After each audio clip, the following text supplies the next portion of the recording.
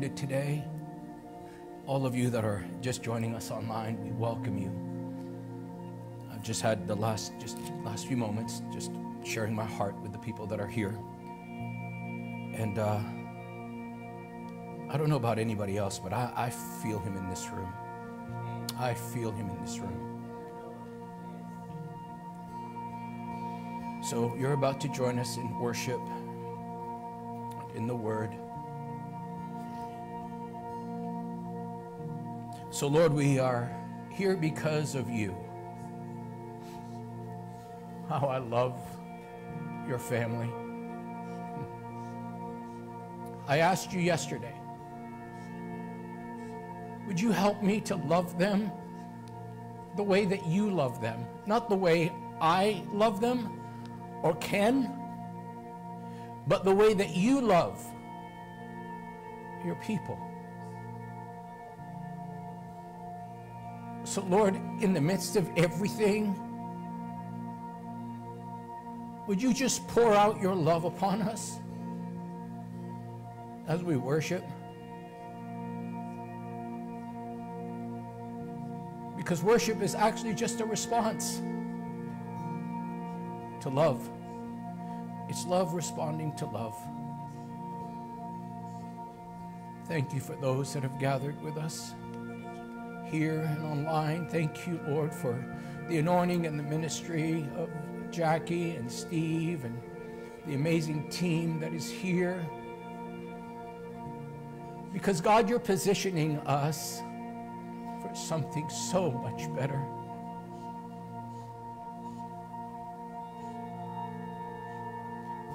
So, Lord, I ask you to touch the people today,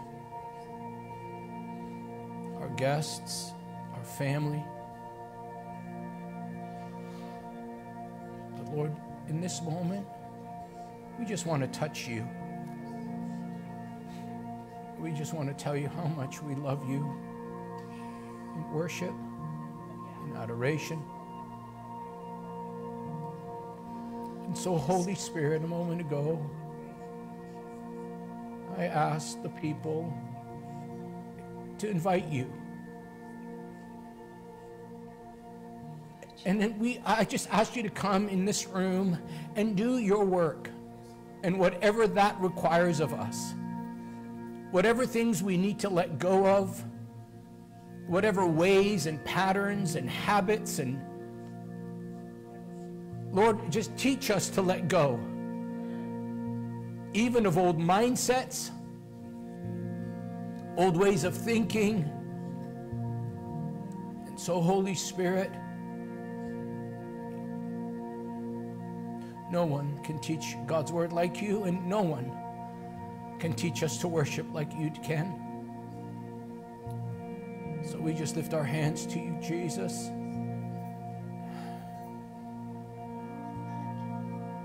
We worship you from our hearts, Lord, from the heart.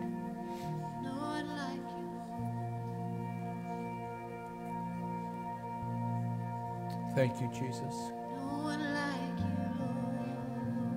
Thank you, Jesus. Just lift your hands up to Him and just begin to thank Him.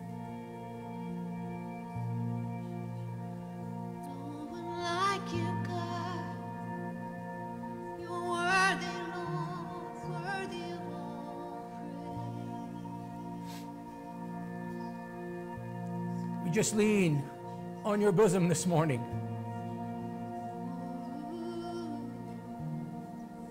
Like John, your beloved. We don't want to work to worship.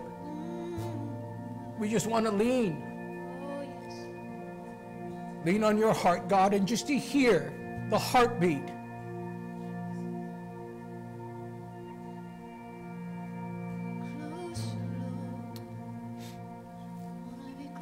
Come on, let's worship the Lord with Jackie.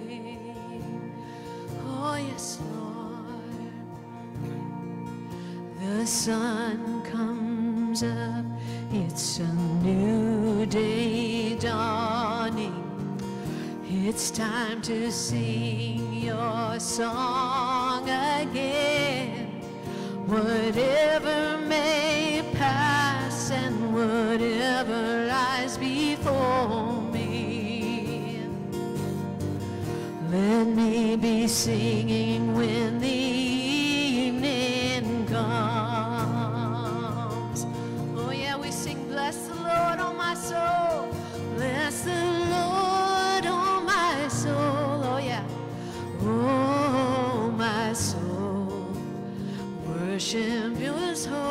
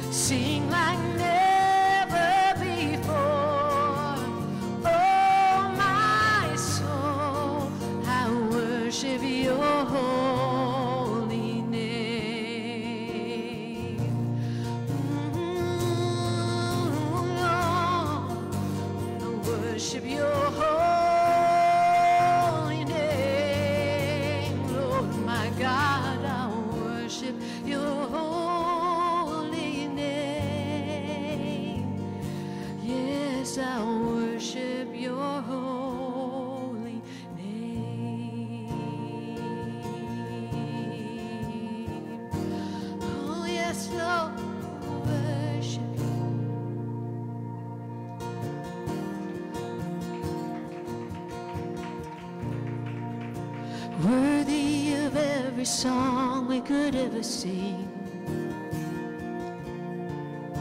Worthy of all the praise we could ever bring.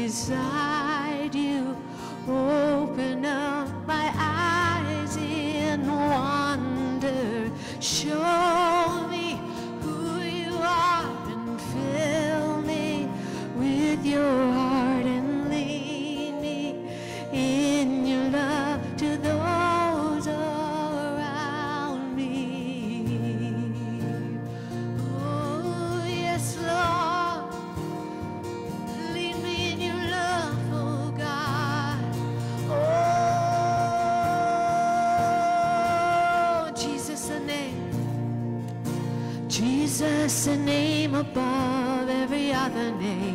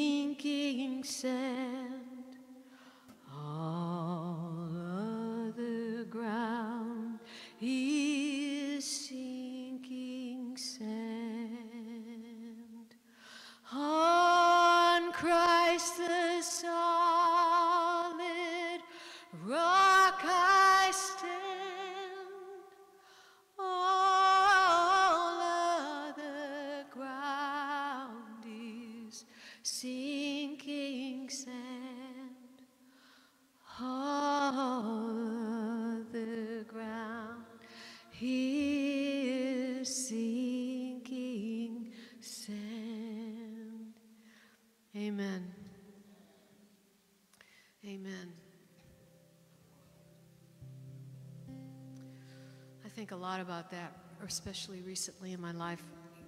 God has brought me through a series of so many different um, thought processes recently, and some healing and um, spiritual things and mental things and physical things. But, you know, part of what we deal with as human beings is idolizing ourselves, isn't it? Isn't it? Yeah. And um, the problem being that when we stand on ourselves and our strength, that is, that is putting yourself as, as God before God. Does anybody know what I'm talking about? anybody understand where I'm at? But um, I know that may have not been that very articulate right there, but it's willfulness, and it's when we have a strong willfulness, um, we have a tendency to not want to follow where He's leading us. And um, it makes it harder to move forward in Christ, in God.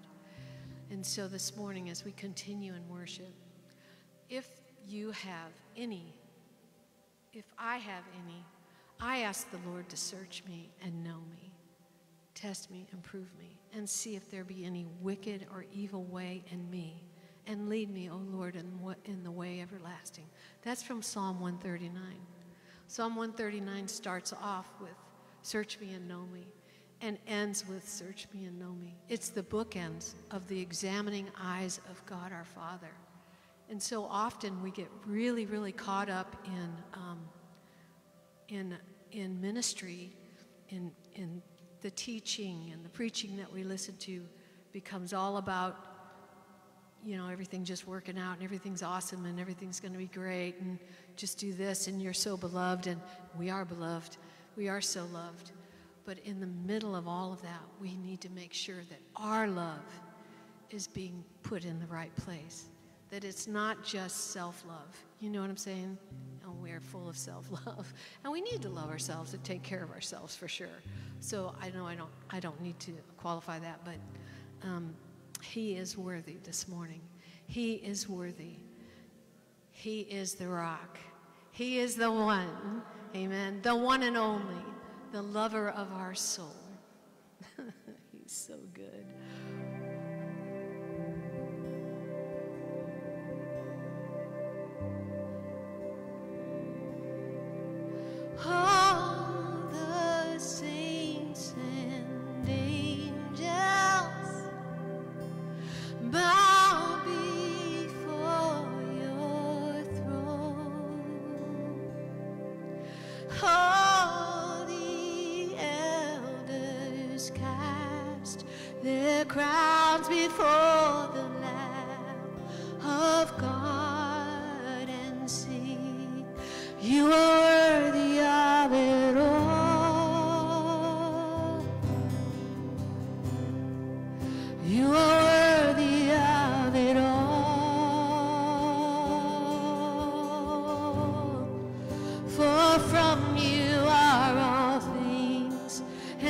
You are all. Oh, you deserve the glory. All the saints and angels, let's cast our crowns before him. All the saints and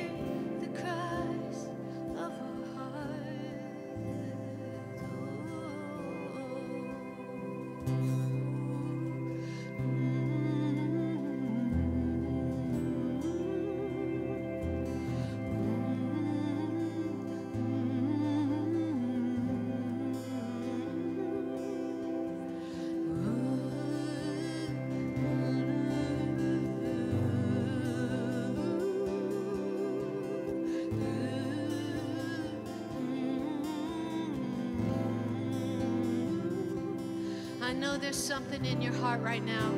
As we're singing this part of this song, day and night, let your incense arise. Right now, let's just lift our hearts to Him. And whatever the cry of your heart is this morning, can you lift it before Him? Make no mistake, His ears are open to the cry of His people. Called unto the Lord, and He heard my cry. Psalm 40 says. That He lifted me up out of a miry pit. He set my feet upon a rock. He put a new song in my mouth, and many shall hear it and fear the Lord. What's the new song in your mouth that you want to be able to hear and say, God, I know you did this? You lift your cry to Him right now? Lift your prayer to Him.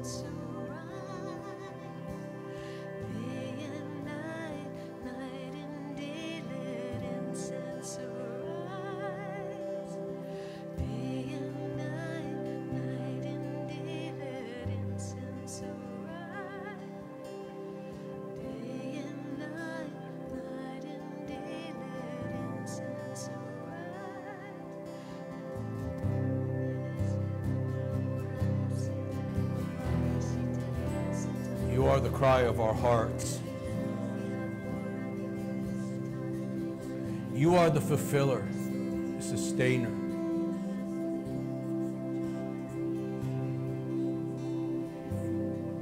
Day and night. Day and night, Jesus, day and night. Day and night, Lord, day and night consumed by you, consumed by your presence, your love, your grace, the tenderness of your mercy, the beauty of your love.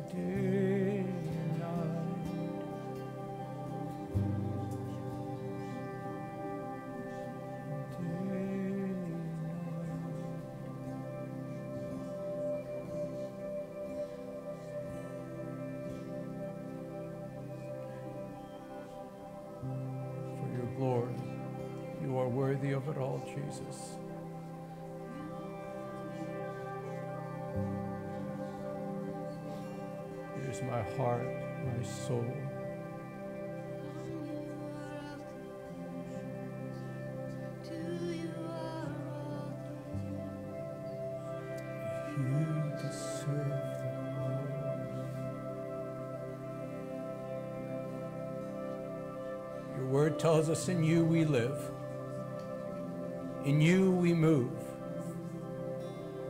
and in you we have our being. We love you, Jesus.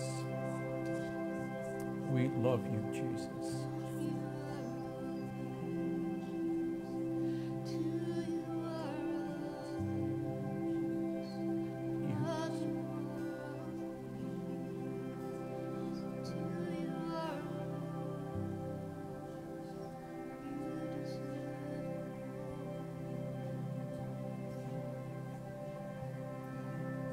That we do, Jesus, we do for your glory.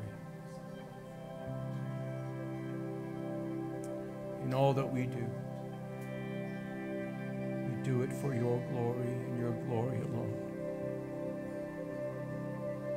We love you, Jesus. Back in the day, I always used to encourage the people to look up, put your hand on your mouth, just give him a big Bible says, kiss the Son, lest he be angry. I would encourage you to kiss him all day long. Now, before I encourage you to kiss each other, I'm not going to do that, but would you take a moment, turn around, get out of your seat. Now that we have witnessed of our love to God, let us witness of our love to one another. Take a moment. I'm going to talk to the people online. Take a moment, greet one another. Thank you, Jackie, for being so sensitive to the Holy Spirit. Turn around, greet those around you, please. Get out of your seat. We are a family. And I thank you so much for joining us this morning. Thank you for just being on this journey with us. When I tell you the Lord is doing something so very powerful, um, He is. And I am so very excited about what God is about to release to us as a body. Um, what He's been doing in my life these last few weeks has been really overwhelming, uh, scary, yet overwhelming but it's teaching me to trust Him. And so I pray the message today will minister to your heart and uh, that you will encounter the Lord in a new way. And He'll give you a greater hunger for Him than you've ever had. So would you please just take a moment, prepare your heart, get your Bibles, and uh, I'm going to open my heart about a few, a number of things that God has us on this journey and about this journey that we're about to step into with Him. So I love you. Thank you so much. Also, just to take a moment while they're still greeting each other. Thank you for standing with us financially. Um, it's in the bio, I believe, but um, our children's ministry is about to just, we're about to add so much more to it, and there's some things that we desperately need to get. Um, and some of the curriculum that they're going to be taught next week, beginning next week, is is fabulous because I believe in raising our kids up with the Word of God inside of them. So we'll be talking about that in a few minutes. But thank you so much for praying. Thank you for giving. Thank you for financially standing with us because you'll never outgive God. You're not given to a man nor a ministry, you're giving to the kingdom of God. Thank you, and the Lord bless you. Good morning. Good morning, you amazing people. I want you to. for those of you, by the way, for those of you, um, I'm not talking to you guys in here. I'm talking to people online. So, but um, we miss you. We love you. So many of our people this morning are out uh, in a way, either recovering, but we miss you. We love you. We're grateful that uh, I know some of you are watching online. Thank you so much for being so in tune with what God is with what God is doing here. And um, uh, there's nothing like being home, and uh, and that means being together. So I want to get into this. And again, thank you so much, all of you, for coming. Um, again, uh, several people, Mike Nelson texted me this morning, Joe Taylor texted me this morning. It just, um, and we miss our church family that is recovering and healing. And even though you're not here, you're here, just so you know. Uh, and you're here. So the most important thing is you're right here. And uh, I carry you, I carry you everywhere with me, which bothers me um, because you interrupt my day so often when I feel like the Lord says, pray for them. And, um, but anyways, uh, I, would love to be able to put into words what God has been doing these last two weeks or so. Uh, but it's, it's honestly, it's almost impossible. And not to take uh, probably an hour, an hour and a half. We are short staffed this morning with our, our team. And, um, but I want to just share a couple of things with you as we get ready. So thank you for your patience. God is so good because he knows like exactly what we have need of because if 100 kids would have showed up like we would have been totally done and, and have no room for them. But um, something that god is doing and i just want to open my heart uh, to our team who is so amazing and have been so faithful. We're shifting things around because god is changing the paradigm and the direction of where we're going. And so uh, Kristen, who's been doing our children's ministry for so long, but also just one of the most faithful volunteers that uh, has been on this journey with me for years, uh, can just, that's her heart, what needs to be done. And she starts to do it. And so uh, we have shifted because this is something we knew we needed to get our worship experience. Having Steve and Jackie here is a breath of fresh air for us. Uh, YouTube worship is great, but nothing like live worship, and especially live worship with hearts like that. So we upped our game. Uh, we invested in a lot of things to, you know, help you experience that worship with us, with the words and sound system a little bit upgraded. And we're upgrading. I guess maybe that's the word. We're upgrading a lot of things. And so the next thing we're upgrading is our children's area. And as long as the Lord has us here, I want our kids to have the Word of God in them because that is the only thing that lasts. It's the only thing that remains is the Word of God. And so last Sunday, I introduced Brenda Sapp, who now that Kristen has moved from children's ministry to here, um, I'm not sure what that noise is, but whatever, it's probably a coffee machine. Okay, so we're probably going to invest in a new coffee pot, but. But anyways, um, the next area that we want to, uh, I, I, feel a very strong pull to is uh, investing in our children. And the children that do show up here. God is so faithful because our kids area is very very small and we need to upgrade it until the, as long as the lord has us here we want to do our best with the room that we have. And uh, so we're going to be, uh, last Sunday I introduced Brenda Sapp, who the Lord literally spoke to my heart and mentioned her name. Uh, to reach out to her because of all the changes that I just, this is, even today, like this morning as I'm praying here, I feel the Lord just speaking to my heart, like these are preparatory times. This is all preparation for what is about to happen. So we better get ready now. You know, God spoke to, by the way, God spoke to Noah every single day because Noah needed direction from God every single day. And so that's where I'm at right now. I feel like the Lord is just every day, He's giving me instruction and, and just to change and uh, moving forward. So, our children's ministry, Brenda Sapp, who has been, an, uh, she's just, again, a part of our church for many, many years, but spent 14 years in Haiti, um, being a mother to a, a bunch of children. And so to have her step in and to literally stand on the shoulders of what Kristen has done over the years is a privilege. And so I believe that um, our children, uh, you know, what they, right now, they can watch things and that's great, but what they need is the Word of God. And so we are investing in a curriculum. In fact, Brenda is, uh, she's not here this morning because she's at the church that wrote this curriculum. It is, it is this thick and it's, the, it's God's word for children. And so we are going to be investing in that curriculum for our kids so that when our kids are here, they're getting the word in them. Because once they get old, that's the one thing that just will not return void. So we're going to add a curtain to help with the sound so that they can be, you know, they, they again, it's an open room, so they have to be so, they are, and they're great. They're quiet. Um, and so we want to be able to add a few things. So I'm, that's what I'm asking this morning in our giving, that we just add a little bit more so that we can get this curriculum for the kids. We want the, it is, it's called, I think it's called the Amazing Gospel. But uh, Brenda is actually at the church where the curriculum was written this morning.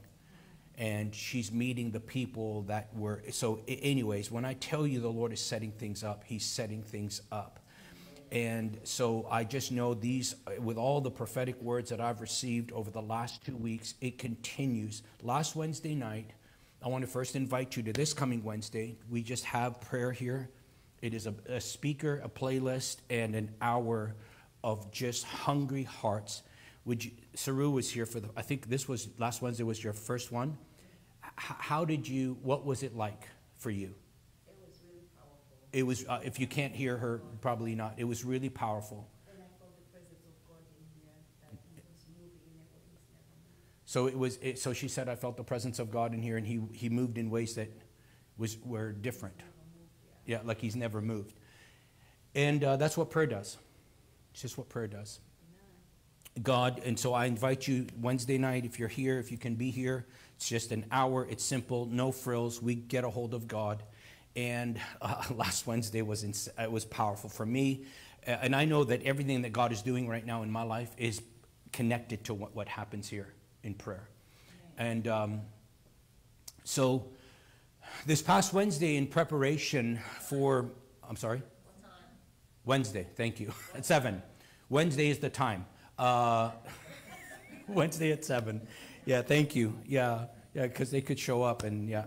But uh, yeah, so Wednesday Eastern time, if in case, so 7 o'clock Eastern. But um, but yeah, it's it's going to be a powerful time. And so last Wednesday, as I was preparing, you know, I was again just prepared, like Lord, where, where where's where's your heart in in all of this?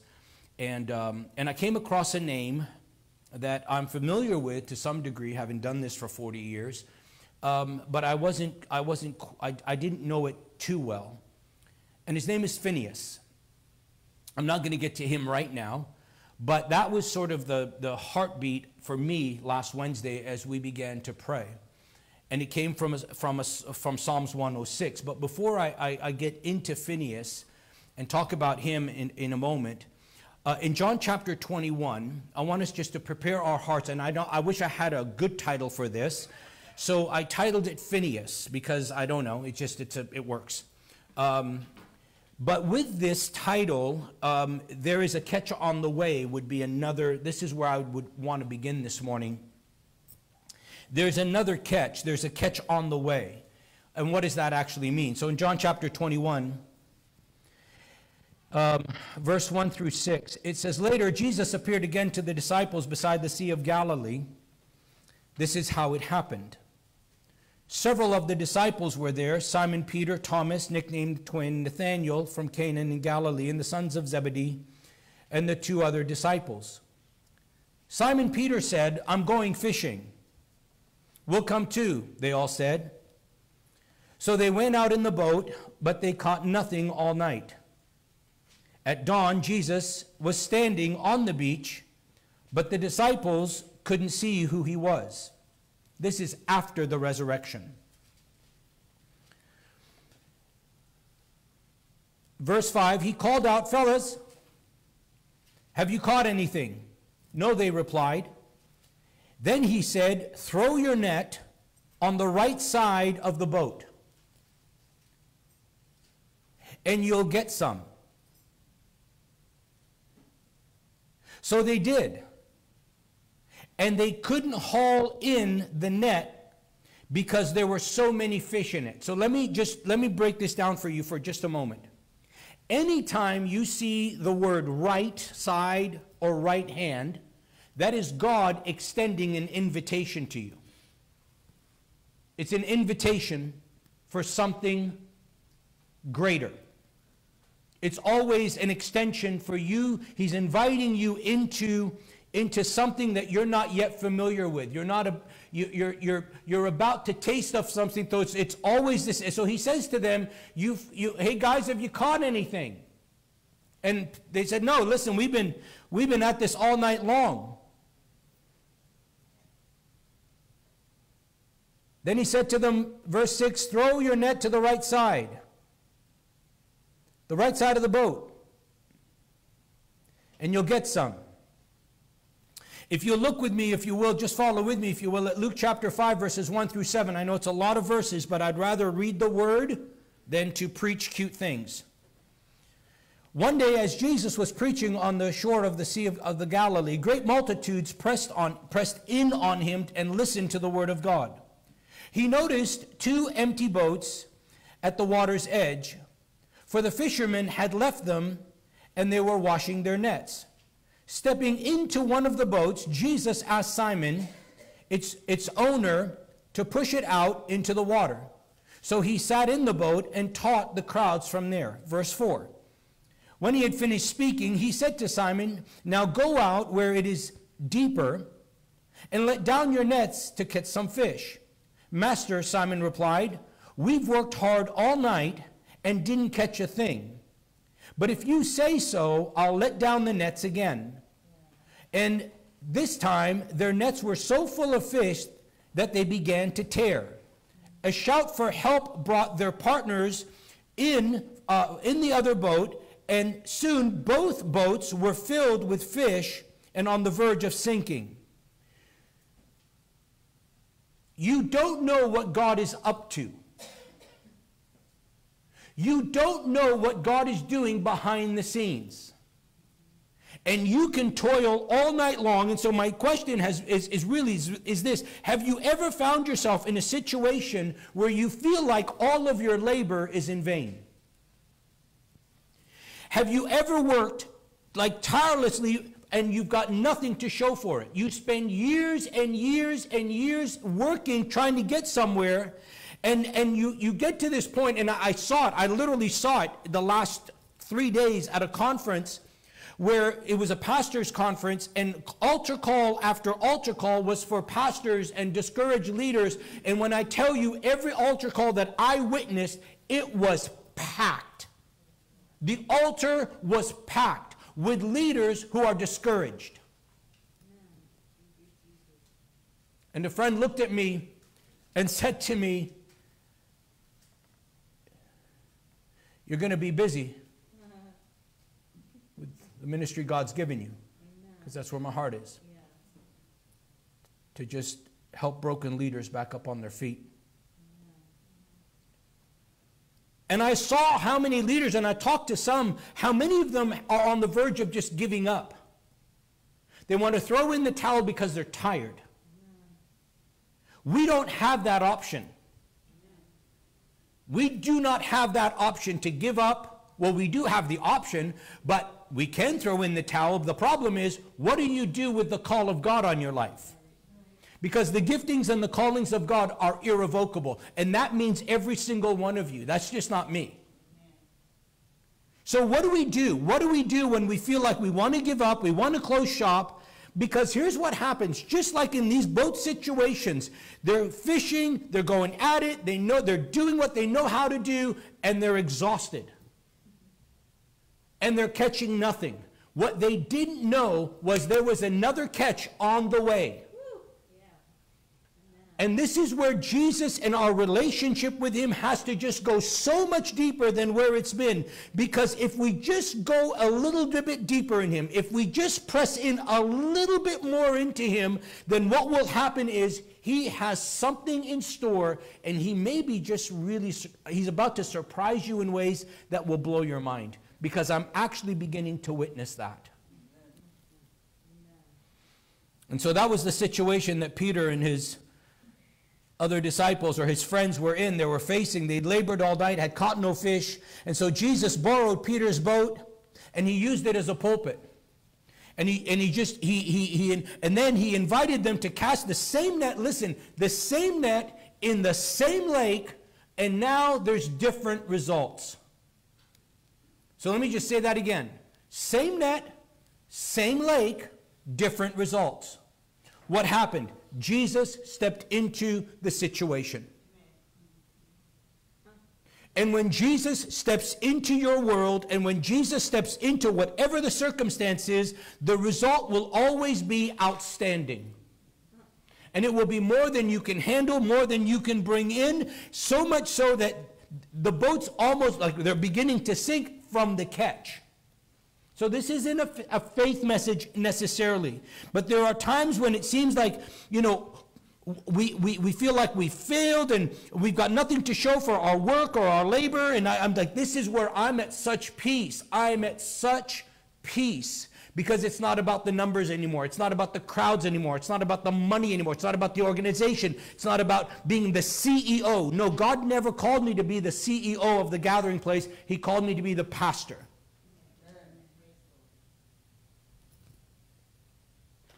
That's where I think pastors will step into places where they shouldn't go. Because the church isn't, it, yes, I understand legally and all the organizational part of it and the, under the IRS and the rules and so forth. And yes, the business and all of that. But no, no, no. The church is a family. The church is not an organization, it's an organism. It's the heart of God, it's the family of God. I wonder, I'm serious, this is just an opening of my heart. I wonder how many churches will remain in operation if the IRS pulls its thing from them. It's 501c3. The true church, there was no 501c3 in the days of Jesus. People gave because it was the kingdom rather than, you know, the, the, the, you know, whatever the receipt is that you get. And so I'm looking at this and I'm seeing this is the same lake, same nets, but it's at one instruction from Jesus, different results. This is why when the Lord said to me, July the 13th, I'm going to go back to that. July the 13th, Thursday afternoon, I'm praying for Steve and Jackie because they're, they're going on, on, I know they're going on a ministry trip, and I'm praying over several things. And the Lord says to me, build a place for my presence and my provision will be there. And ever since that day, July the 13th, right around 2 or 3 in the afternoon, that word has shifted my entire, it has shifted my everything. I didn't realize how much my life would shift as a result of that word. Just one. And since that day, it has been word after word after word. But let me just tell you something about I love the I love the prophetic. I'm very careful with it because I've been around long enough. It, ooh, because sometimes people that you trust will become conspirators against you. I'm going to say that one more time. I'll show you that from Scripture one day. People that you trust can turn on you and then become your conspirators. Dangerous place to be for anyone. Look at Absalom's life. So we have to be very, very careful. Because with even, and I'm, I'm talking about the five offices, they're good people and so forth, but you don't know the motive, you don't know the intention. So for me, I'm very, very careful when it comes to the prophetics, people speaking into my life, who I, who I allow into a very, very small circle, because I've been here too long and I don't have time to waste. And, and I, I say this with all respect to everyone. I'm done chasing down people because God has been dismantling the people pleasing aspect of me. And he's literally, so on Wednesday night when we were in prayer, it was just so powerful. I see a human slingshot. Steve, I'm, I'm seeing this as we're praying. You guys remember. And I see a human slingshot. And I see God backing people into this slingshot and he's releasing. And I'm watching the people like, he's, he's just the trajectory they were, and they were soaring. But what I noticed is when they were soaring, they weren't looking to the, to the left or to the right to look at the scenery. They had their eyes fixed on God, and he, they, like, they were going towards a bullseye. And I really felt like what God is saying is, This is what I'm doing. He's changing the trajectory of our lives. So, all these prophetic words, even up to Wednesday morning, I received another one from this dear man who's been such a blessing to my life, Marvin Harrell. And he, he, he calls me and he's like, and he, and he is, I mean, when I tell you, whew, I just want to say there's some true prophets in the world. Then there's ones that think they are. But this man has rocked my world with his humility, with his accuracy, and, and he's not prophesying me with getting a Rolex. He's prophesying the most amazing things that deal even to my children. And I'm watching God in one week, in one week, God did things and began to do things that I just blew my mind as if God is saying, I'm telling you, this is me. Because if I can be accurate with this, then I'm figuring God must be, this is gonna, this whole thing is going to come to pass. Are you, okay, are you guys here? So if, if, if one thing, I mean, within a week, one thing that is major happens. I'm, okay, God, you've got something in store. So you know what I'm going to do, God? I'm going to keep my eyes fixed on you. And so this Wednesday night, it, it just is, it's going to, I mean, this past Wednesday night, it erupted in this room in prayer. And I think this whole aspect of prayer is ch- it's changing my life. I mean, I'm approaching it very, very different than I did in the past. And I'm watching God on, He's under, and so this, even during this conference, these last few days, I didn't really want to go. I just honestly, I, I've, I'm conferenced out. But I knew God said go. And I'm so glad that I did. because I, God did some things in me that needed to be done. But not only in me, I watched him touching leaders from all over the place. And it reminded me that everything that I've been through isn't in vain. And that he will use everything that you're going through so that he can bring you to a place to use you. And I'm telling you, I don't know about your prayer life, but man, mine has taken off. And I'm realizing everything that God is doing right now is I, I just have felt over the, the last couple of days, the Lord just speaking to my heart saying, if you'll just press in a little bit farther, let me amaze you. You've been casting your net in the same place for so long, and, it, you're, and, and, and the, there's no results, and you feel like you want to throw in the towel and you want to give up, but I'm telling you, just press in a little bit more. Go a little bit deeper. Let God get you out of your comfort zone, and then just let Him begin to deal with you, like Jackie was saying, like, Search my heart, like the whole thing in Psalms 139. It begins with search my heart and it ends with search my heart. And this is where I think I'm just at. Like, God, would you take anything, all the old patterns, mindsets, thoughts, and this that, that word, by the way, that this precious man gives me, the very beginning of it is God is going to change the, the way you think and your mindset. And that's where it started. Like, that's where the words, and he's like, the first, the last five years of your life, and he's talking about the stress and everything else, and God is about to blow it like chaff. Guess what? He began to blow it like chaff. You know what I'm not going to allow? People to stress me out. Just not going to do it. And he said some stuff and said some stuff Wednesday, and I may share some of it, I don't know. Because I love to, when I share anything prophetically that God is, I don't, it's, it's not, it's, it's about accountability. It's that when I release something that God said concerning me, it's not just for me, it's for us. And, it's, and in that, there's an accountability. Because I want to be held accountable to what I heard. And I want people to hear what was said and then be able to ask a year from now, what happened to that? Why did you why did you put it down? Why did you you know why did you shelf it? Why did you despise God's voice when he said a year ago he was going to do this? And so this is where this whole thing is just coming alive inside of me because, you know, those, those, there are times in our lives when our weariness can actually cause us to, to doubt God. But here's the truth. God has the final say in every situation of your life. And when God has the final say in every situation of your life, I want you to know it's not over until God says so. Because God always fulfills his promise. And if God is asking you to press a little bit deeper in spite of all your past human efforts, take him at his word. The reason he's asking you to press in a little bit more, or he's saying, hey, I want you to give me a little bit more time, you know, with your life and with your heart. You, you've, you know, you've done this, you've done that, but now I'm, I'm requiring this of you. He's saying that because there is something he's going to do, and it's going to require a bit more effort on your part to say, you know what? These things in my life are important, but this is the most important.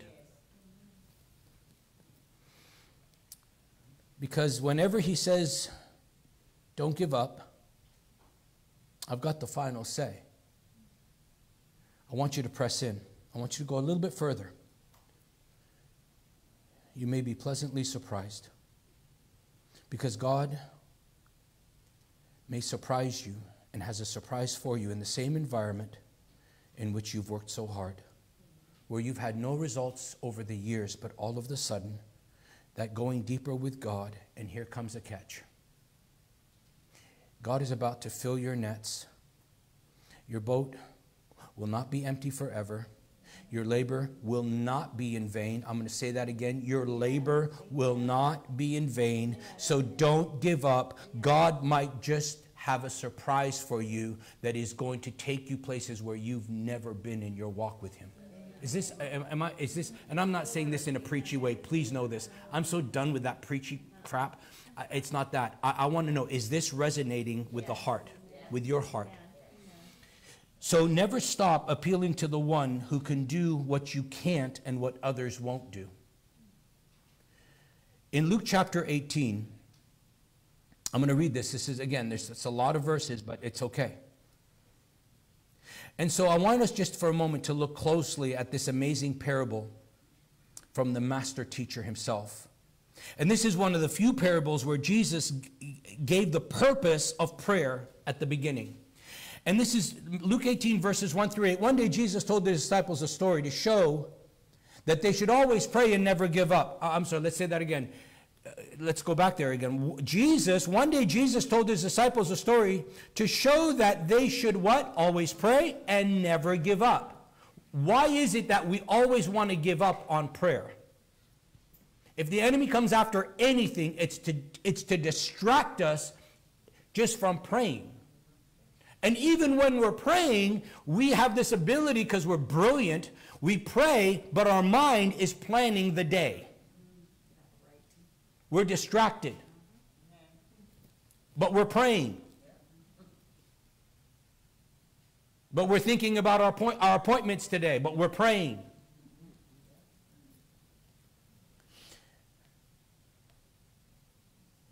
There was a judge in a certain city, and he said, who, who neither feared God nor cared about people. A widow of that city came to him repeatedly, saying, Give me justice in this dispute with my enemy. The judge ignored her for a while, but finally he said to himself, I don't fear God or care about people, but this woman is driving me crazy. And I'm going to see that she gets justice because she's wearing me out with her constant requests.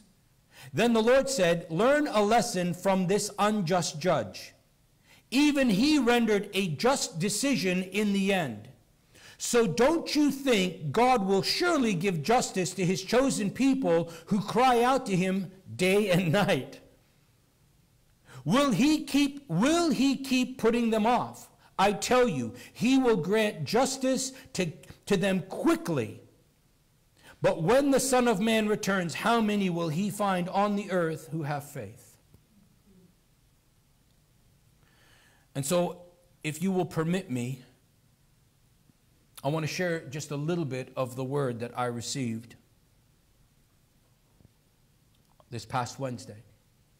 But this word isn't for me because I wouldn't be sharing it if it was just for me. But I believe it's for some of you that are on that are watching and it's for some of you in this room. And I pray that it ministers to you as it ministered to me. And so here was the word that came from this precious man, Marvin Harrell. He called me on Wednesday morning in his country, country, country, country accent. He, we talked last yesterday, we just laughed. He said, The stress that you've been dealing with is not about money. It's about movement. God has to dry up. God has to dry you up so he can take you to another place so you, you can flourish. I did the same thing to Elijah. The people of the city will sustain you. Now, I don't know, by the way, if this is a physical place or a spiritual place or maybe both. Wow. He said, if you don't bring them fresh manna, the people will become hungry. God's people are hungry, and God has given you fresh manna to give them. I'm going to do the same work in you as I did for Noah. He needed to come to me, he needed to come to me and get direction every single day. God needs you to come to him every day so that he can give you direction because the old blueprints won't work. This is not for me. This is for all of us in this room and for those of you online. And he said this to me, and this, and, and I, the only reason, again, the only reason I say these words, because these are personal, but they're not just for me. I know that because God already spoke to my heart to share them with you. And this is the next thing he said. He said, The Holy Spirit says, Sam, you don't know how much I love you, Sam. And I want to say that to you. This is not about me. I'm so done with the me. This is about you. And this is about your walk with God. And this is about how special you are. So I'm going to say the same thing to every single one of you in this room. You do not know how special you are and how much God loves you and how much the Holy Spirit says to you, I love you. And he's saying the same thing to you online. The Holy Spirit loves you, and God has great things, and we know that God has great things in store for our lives, but it's going to also require for us to lose the old blueprints. And just say, God, I need you to do something new in my life. So I'm going to say this to all of you, whether you're watching online or in this room. The Holy Spirit says, You don't know how much I love you. And if you don't, I believe in with all my heart in these coming days you will. He went on and he said, The anointing on your life is going to intensify. He said, I don't need any more messages. I need Sam to become the message. Understand what you carry. And this is, again, not for me. Understand what you carry. You are carrying life inside of you. Jackie, listen to this. He said, I am building a place for habitation. I want a place where I can abide and not leave. I don't want, I don't want anyone to carry the ark anymore. I just need some place for it to rest. So again, I go back to you said July the 13th to me in the afternoon. Build a place for my presence.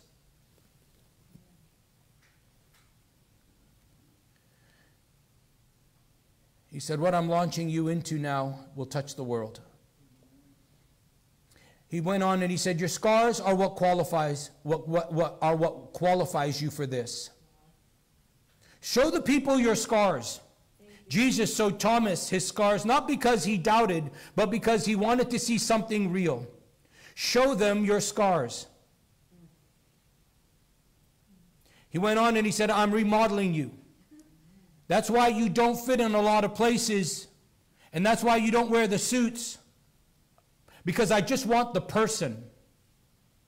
He said, Everything is changing. I tell you today, God is moving in your life.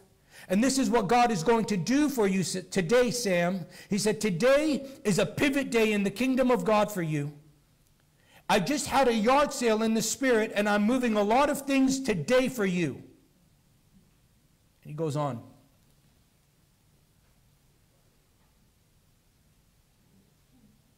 He had no idea. He had no idea what was going on inside of me, even on that day. I'm going to wrap this up pretty soon.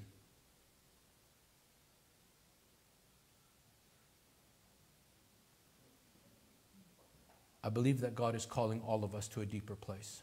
Whatever that deeper place is for your life, I don't know. But I pray that these words will shape your communion with God. Matthew chapter, Matthew chapter 6, verses 5 through 8. When you pray, Jesus said, Don't be like the hypocrites who love to pray publicly on the street corners and in the synagogues where everyone can see them. I tell you the truth, that is all the reward they will get. But when you pray, go away by yourself, shut the door behind you, and pray to your Father in private. Then your Father, who sees everything, will reward you. When you pray, don't, listen, he says, when you pray, don't babble on, on and on as the Gentiles do they think their prayers are answered merely by repeating their words again and again. Here's the words He said, Don't be like them, for your Father knows exactly what you need even before you ask Him. And I pray that these are the words that comfort you. Let me just show you the power of prayer. The power of prayer. In 1 Kings chapter 8 is a very powerful story. in verses 37, these, this is actually Solomon's prayer. And then I'm, I'm going to go to there, and then I'm going to go to Psalms 106, and then we're done. 1 Kings 8, verse 37 through 40. And by the way, the very words that we just heard or read, for your Father knows exactly what you need before you ask Him, these words should change our approach to prayer. He already knows. He's our heavenly Father who knows everything about you and I. And he's, by the way, he's, he's neither ignorant of our needs nor in need of our encouragement. He just wants time with us. And so 1 Kings 8, verse 37 if there is a famine in the land, or a plague, or a crop disease, or attacks of locusts or caterpillars, or if your people's enemies are in the land besieging their towns, whatever disaster or disease there is, and if your people Israel pray about their troubles, raising their hands toward this temple, hear, listen, then hear from heaven where you live and forgive. Give your people what their actions deserve, for you alone know each human heart. Then they will fear you as long as they live in the land you gave to our ancestors. Let me just build on that for just a moment. Tragedy, shock, sickness, trauma will continue to ravage the earth. This earth, as long as it continues and remains in the way where people are just, they're just running from God and all the situations that we're in. A few years ago, we faced a pandemic. And people are still struggling, and that pandemic killed a lot of people. Millions of people. Just follow with me for a second. Something so small and unseen brought an entire nation and world to its knees. No one had ever heard of the coronavirus 19. And then here comes all of the stuff that comes with it the politics and the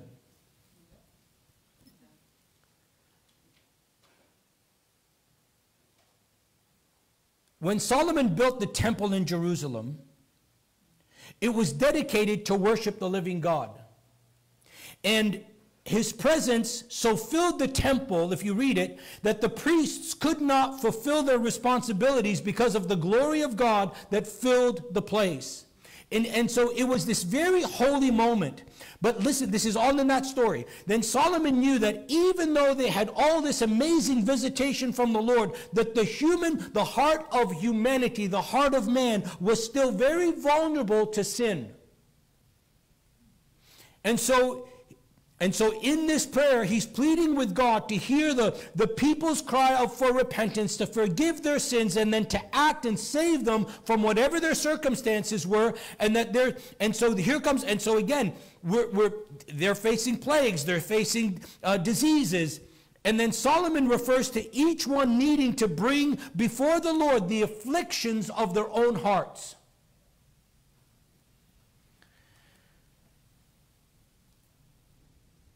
And that's where we have to begin. If we want our prayers of intercession to be empowered by the presence of God and the presence of the Holy Spirit, we've got to begin right there. What you were saying earlier, Jackie. God, you know my heart. And if there's anything in me that needs to be changed, and if there's any, if you see anything in me that you need to remove, I give you, Lord, I'm asking you to invade my life and invade my heart and invade my soul and remove whatever needs to be removed so that you can have your way in me. that is a place, and don't pray that unless you mean it. I close with this. Here's what I encourage you to do I encourage you to turn every difficult situation that you're facing into an opportunity for prayer. And pray like you've never prayed before and watch God's hand move. And there is so much more that I want to share with you. But I came across this verse on Wednesday that just absolutely did me in. And it's this guy named Phineas. And it was sort of, as I said, it was the theme for Wednesday's prayer time. And so if you read Psalms 106, the whole thing, I think you'll be amazed at the, so I don't want to go through the whole thing, but we come to this last, the, the, these two verses in particular.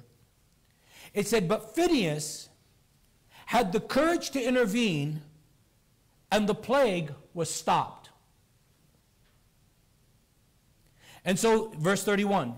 So he was so he had been regarded as a righteous man ever since that time. Read the story. And what you're going to find is that there is so much misery and there's there's basically what we read in in first kings there's all these there all these things happening and god was looking for one man to stand up and to pray. And i think to myself again just let me go here by myself I wonder what would have, what could have happened, or what will happen with all that happened with the last couple of years. Where were the prayers of the righteous? I, I am putting myself at that altar first because I did what everybody else did. I panicked.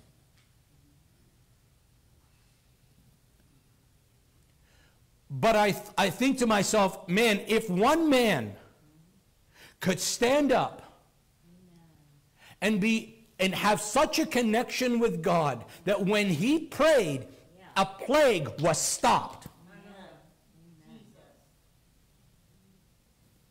Thoughts? Pretty strong.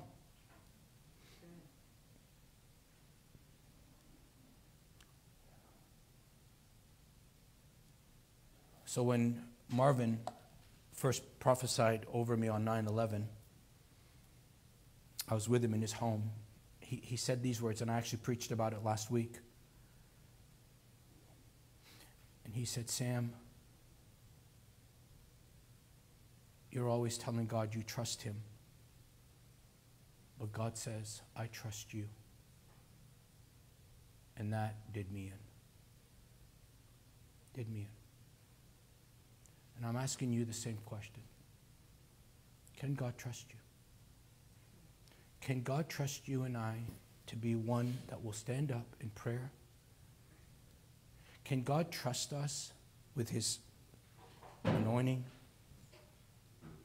Can God trust us with His love to give away, like we were singing, to those around us? Can God trust us with His blessings, knowing that as He blesses us, our hands are opened to others? And so we so focus on us trusting God, and that's, yes, oh my gosh, you, we breathe that every day. But I, I've gotten to this place where I've just said, God, I just, if you trust me, what an honor that you trust me. And so now, when I approach anything in my walk with the Lord, when I pray for someone, I look at that and I say, You've, You're trusting me with this. You left 99 for one when we in ministry will run to the 99 and plead with them to do something. But you sit with the one because you know that one needs you.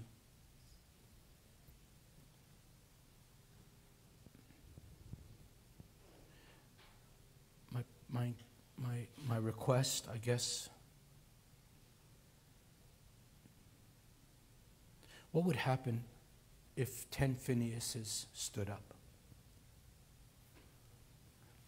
What would happen to our nation? So that he had, it says, so he has been regarded as a righteous man ever since that time. He stood up and he prayed. So, what has God trusted you with? And if God has trusted you with it, that's the power you carry.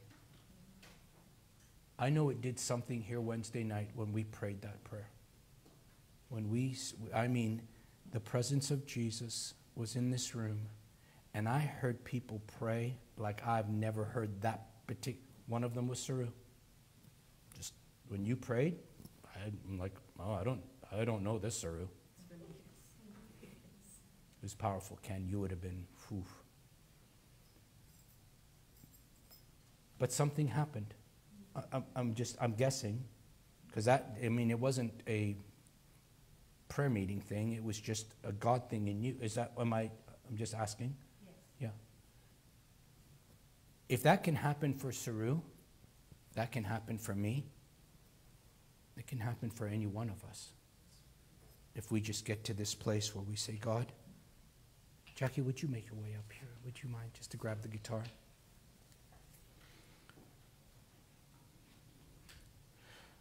So let us stand together in prayer and intercession. Don't ever underestimate the power. You don't have to stand up now, sorry. I'm, I'm saying this as a collective thing. You know, I think that, that, you know, as our nation is in desperate need of, for unity, for harmony, for God to intervene, putting all of our political views aside for a moment. This nation was founded on God's Word. People just coming to freely worship God.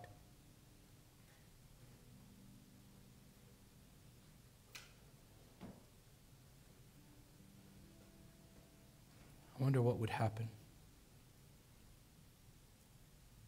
if some of us just stepped into a place of just getting serious about our prayer life.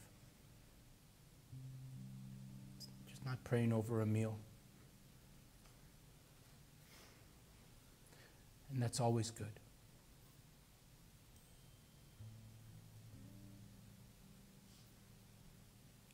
I've cried out to God so much over the last couple of days. I just want to be a Phineas.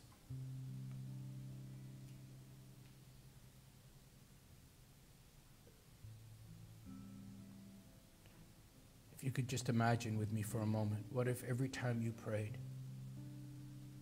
God answered it? Not for stuff, not for, because He, a part of that word that came to me was he, the Lord's through Pastor Marvin prophesying, he said, God knows what you have need of. He wants to know what do you want. I'm asking you the same thing honestly, what do you want? What do you want from God? What do you want in your life? What do you want? And aren't we so good at praying our needs? Aren't we so good at rehearsing the list of when we come to pray? And just imagine for a moment, and you're in that time of prayer, and you're asking God, I need you to do this, and I need you to do that, and I need this, and I need that. And God says, just stop. Don't tell me what you need because I promised to meet it. I've got, I'll supply all of it. I supplied it before you even were asking for it. But now tell me, what do you want? I think some of us would struggle with that answer. But I pray that this is where our life will come to, knowing that He's promised to meet every need now we can actually say, God, you said, if I delight myself in you through your servant David, if I delight myself in you, you'll give me the desires of my heart. I think that's what we want, Lord.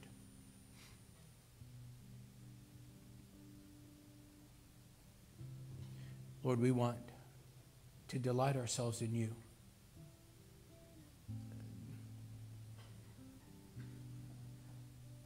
And to be able to get to this place in our life, Lord, where, yeah, we're praying our will, but it's not about that. It's about your will, because you said, if we pray in accordance to your will, it shall be done.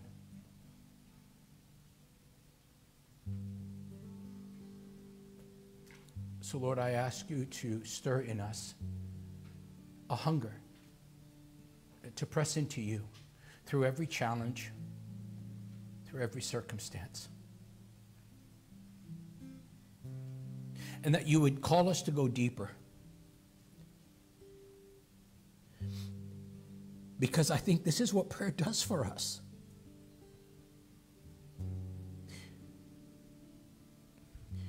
It does it in a way that is just, that is powerful and, and protective it's relationally transforming.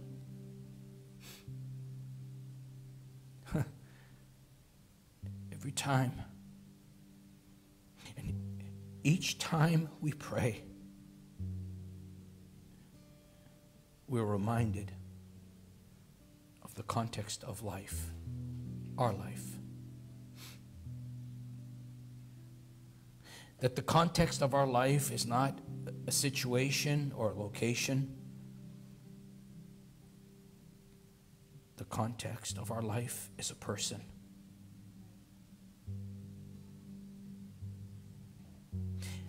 And that person is you.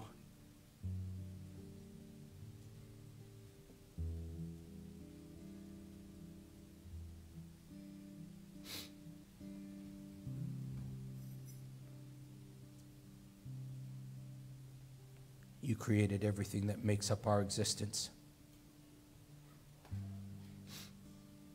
You control every situation and every relationship I'm in.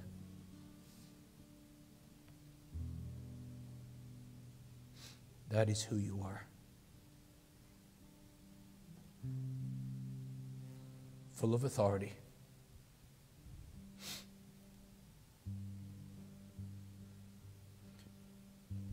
You're above me. You're around me. You're with me. But you're in me.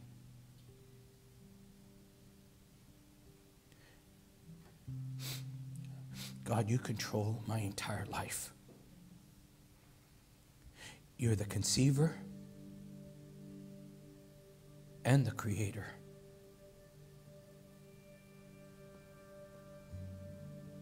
And because you are,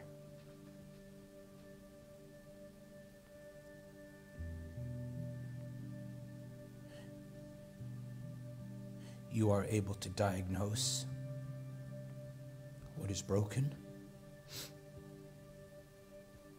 and cure what needs to be healed.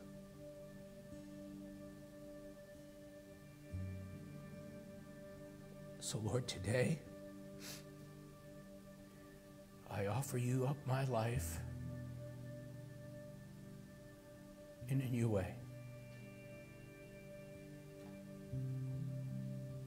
Totally surrendered.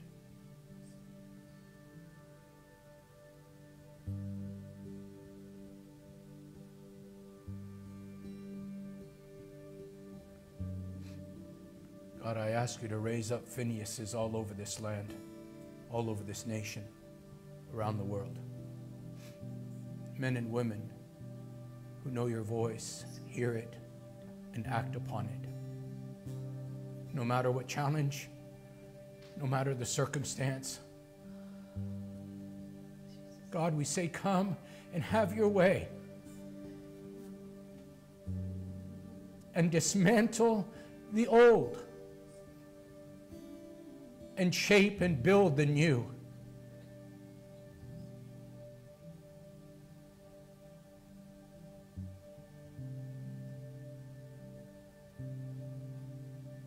Raise up Phineas's. Who can step up? They can stand up and raise their hands to the God who controls the universe. And no matter the plague or the disease or the situation, they know who they're tapped into.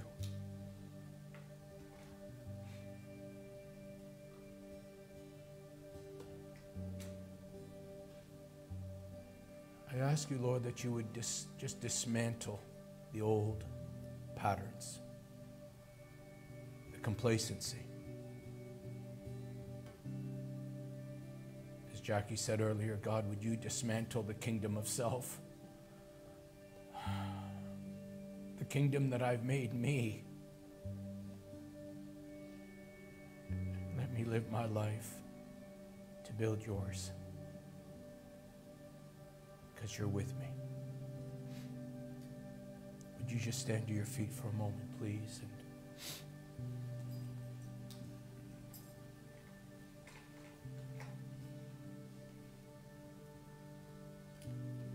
And in Acts 17 28, it says, In him we live and move and have our being.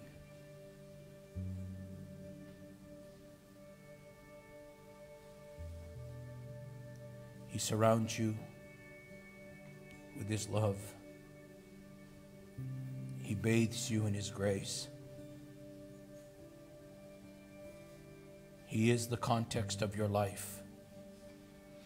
He is your life, and He is the hope of your future.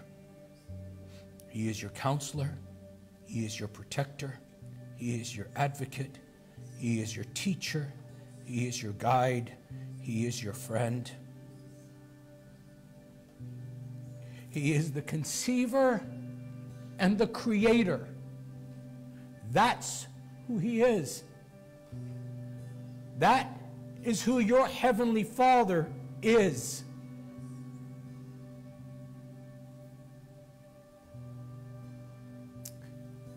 I, I don't, really don't know what more to say, but maybe for you to take a moment and just lift your heart to Him and whatever it is on your heart that you need Him to undo and dismantle and just that whole aspect of self and maybe you've lost some of your hunger. Maybe your commitment to him is just not as deep as it used to be. Maybe you've just pushed side away because you had a bad experience and a bad encounter. I want you to know he is the god of new beginnings he will restore and he will heal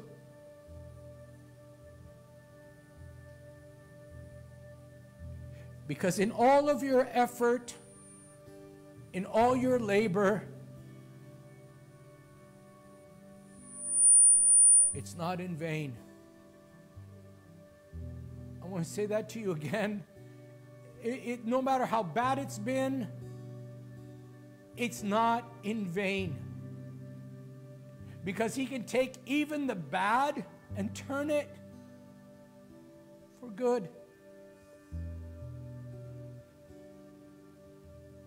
So just take a moment, lift your hands, your heart more important. Lift your heart to Him, and whatever it is that you're asking of Him, He's here. And He's listening. He's listening.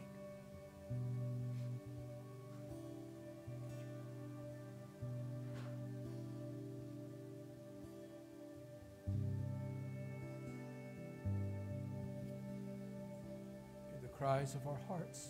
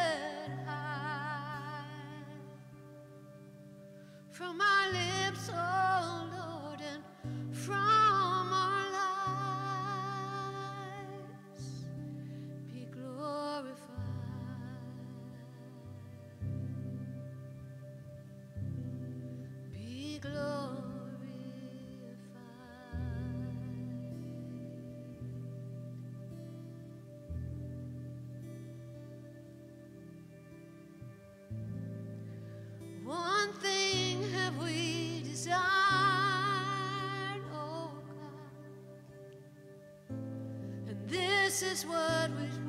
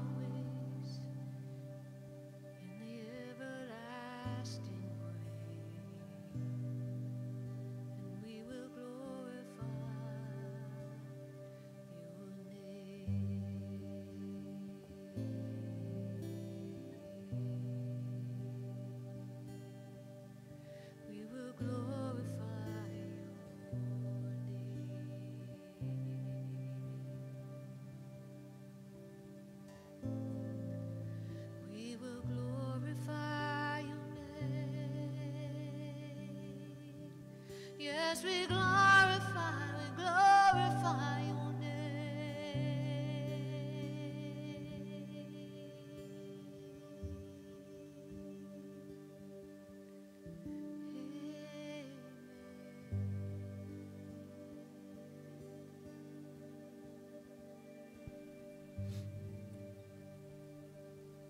Lord, I thank you that you said there is nothing impossible with you.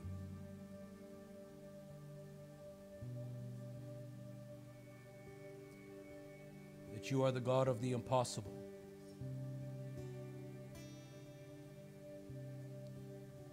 Lord, I thank you that you look over and you look after.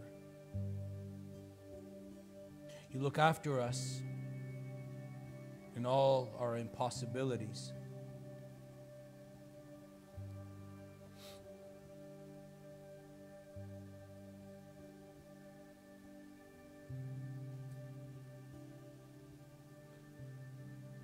This is our time where we have our conversation with each other.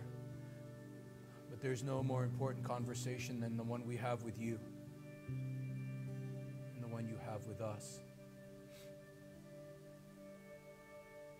So, Father, I just pray that you touch your people with a hunger like they've never had before to pray, to build a place for your presence, an altar in their hearts, in their homes. Lord, we will do that here for you. Where your people can come and receive of your healing, your heart, your hope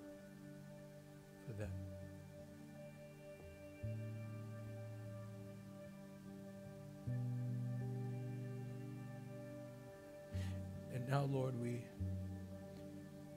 prepare our hearts to honor your kingdom, knowing that what Paul said is so true.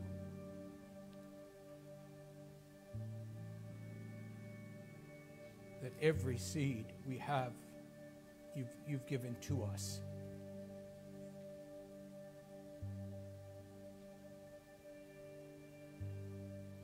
When we sow that seed that you gave to us, you will multiply it back to us, not back to you.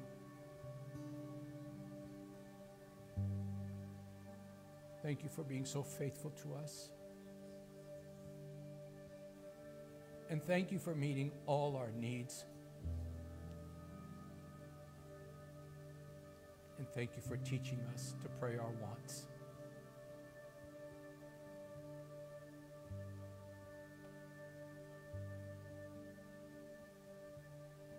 Father, I thank you for what is about to transpire in the lives of your people. The surprises that are about to come their way. They've been, they've been casting their nets, been casting their nets.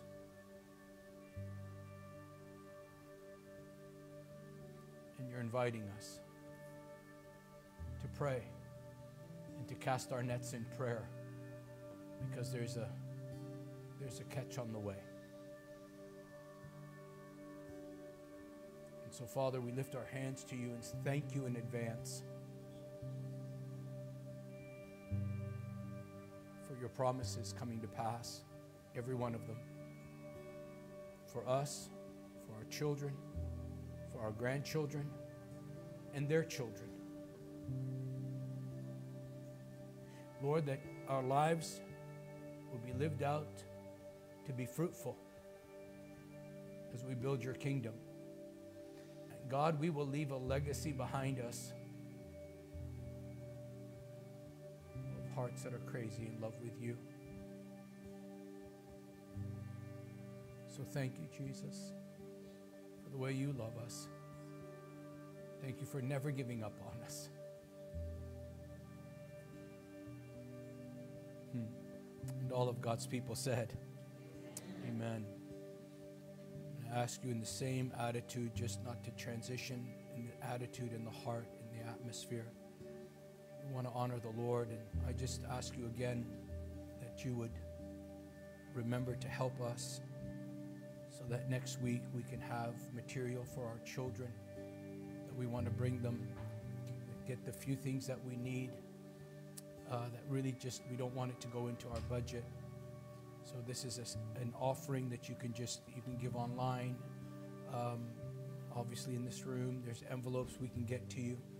But thank you so much for just being a part of our day, part of my day, and uh, I, pray that your testimony will be even greater than mine in the days ahead, and that you will watch God surprise you in ways that you did not expect. But this is but the beginning. Amen. Amen. Love you guys. Offering bucket thing is up here, at the table. Just make your way and thank you for joining us and thank you for being a part. God bless you. Have a great week. I love you guys so very much. Jackie, thank you for what you carry, you and Steve. And uh, each of you, thank you guys. Next week, I just believe it's just, it's going to be great. It's even going to be greater. So I will see you next week. Have a great week, everybody. Thank you all for coming to our guests. You're no longer guests, you're now family. Okay? Even if you live in St. Louis. God bless you guys. I love you. Have a great week.